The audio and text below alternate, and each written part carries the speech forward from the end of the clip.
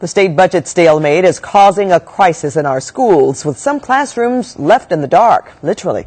State Schools Chief Jack O'Connell is meeting with Southland school officials to talk about a nearly $4 billion loss in funding expected for LA County schools. That's a loss of $2,000 for every student.